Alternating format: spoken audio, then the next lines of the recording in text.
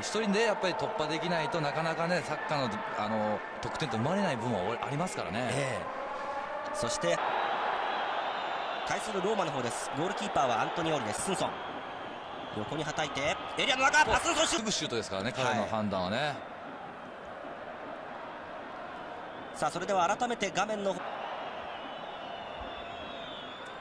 は先ほどシュートの足の振り抜きという話ありましたけどは最も嫌なタイプのフォワードということになりますかね。そうですね。下に叩きつけるようなヘディングシュートでした。やはり精神的に弱いものがあるのかもしれないです。ボールを取り返しましたローマです。さあこのパスは通ります。うんと。アスンソンからのボールですうん。なんでね、ええ、そこのところ気にしたかもしれないですね。はい。正面から壁に当たりました。そしてカフーのシュート。決まった。さあここもいいボールをつないでいく、うん、前にディフェンダー1人です。エリアの中に入った、うん、さあシュートを出す。えパスを出しました。ここから折り返す。逆サイドからボレーシュート。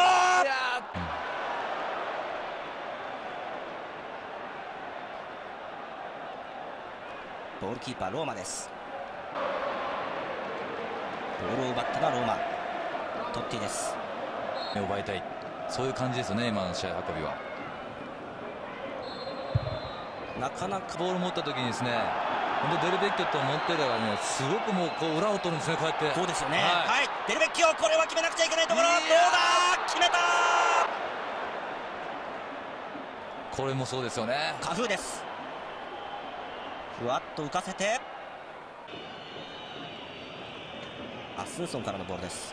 フィオレンティーナの方はその中盤からのディフェンスがちょっとできてないんですよね。フィオレンティーナの9番バティストゥータ。うんアダイル出てきましたね。アダイルドリブルで持っていく。シュートまで持っていった。ここで取られます。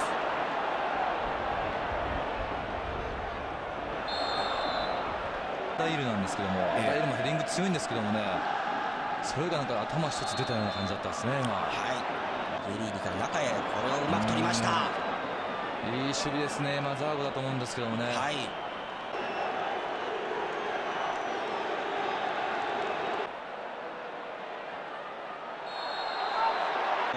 話題に出ましたルイ・コスタがたびたびとこう画面に出てくるようになりました。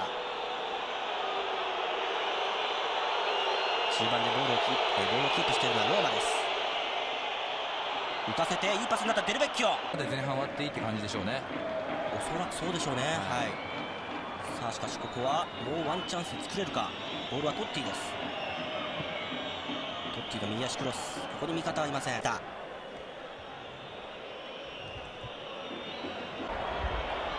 ッティ。トッティのドリブルです。10番同士。ルイ・コスタがついていきます。ホイッスルはそのディフェンスもよくするんですよね。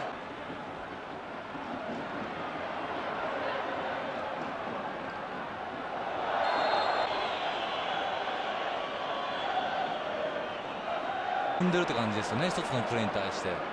ローマの方攻守の切り替えが早くて、本当こう先手を取って攻めてるなって感じしますね。はい。ああ、これもいいパスになりました。うんとホイッスル、オフサイドと残されています。現在のところリードしているのはこのボールをキープしているローマです。あそこディフェンダー2人と戦うのはちょっとね、はい、この後が早いんですよね、みんな、ローマの方は。もうゴール向かって走りますからね。ねデルベッキオ、デルベッキオ、デルベッキオ、無人のゴールしてもこの絶妙なボールですよね。カーブをかけて、そしてスピンをかけて、あとは落ち着いてシュートしてくださいようなボールですからね、ね。はい、これはもうご覧のように前半そして後半この時間に1点ずつを奪いましたローマ。右サイドカフーが走ります。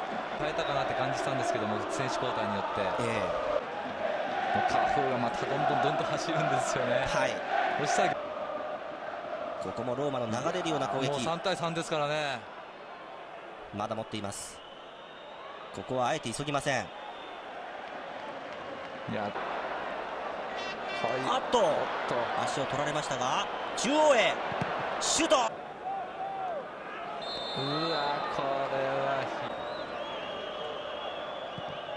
蹴ったのはアスソソまだちょっとこう先が見えなくなってくるんですが現在のところは2点差です。ローマがリードしています。いやいいボールですよ。折り返した。おっと。ディフランチェスコです縦のボール。